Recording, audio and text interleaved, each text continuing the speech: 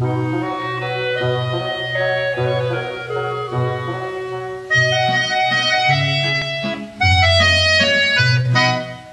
jour-là au bois de Chaville, il y avait du muguet.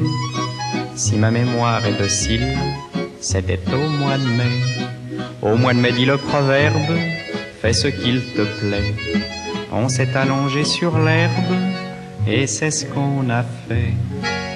Comme nous étions sous les branches, bien dissimulés, samedi soir et France dimanche n'en ont pas parlé. Le lendemain de cette aventure, nous avons acheté un traité de puériculture et de quoi tricoter.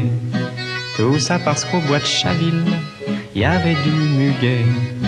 Quand je songe aux conséquences de ce jour charmant, je me sens rempli d'avance d'un très grand tourment, car par ma faute il va naître un pauvre ingénu qui va forcément connaître tout ce que j'ai connu.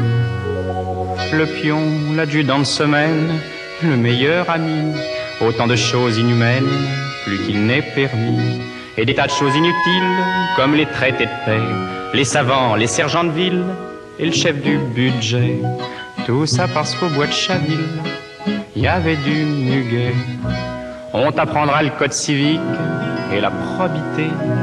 Si tu les mets en pratique, tu seras exploité. Par contre, si tu t'en balances, tu seras respecté. Et selon toute évidence, tu seras député. Pour faire faire connaissance de la liberté, tu seras dès ta naissance finement ligoté. Tu pourras souiller ton linge afin de protester.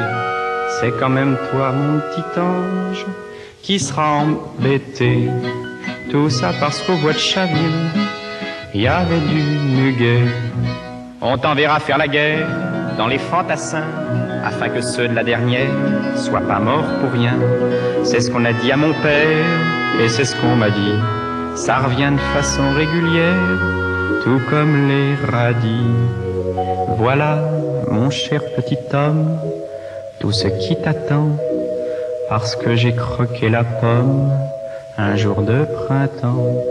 C'est peut-être une folie, mais si tu voyais comme ta maman est jolie, tu me pardonnerais d'avoir été à Chaville cueillir du muguet.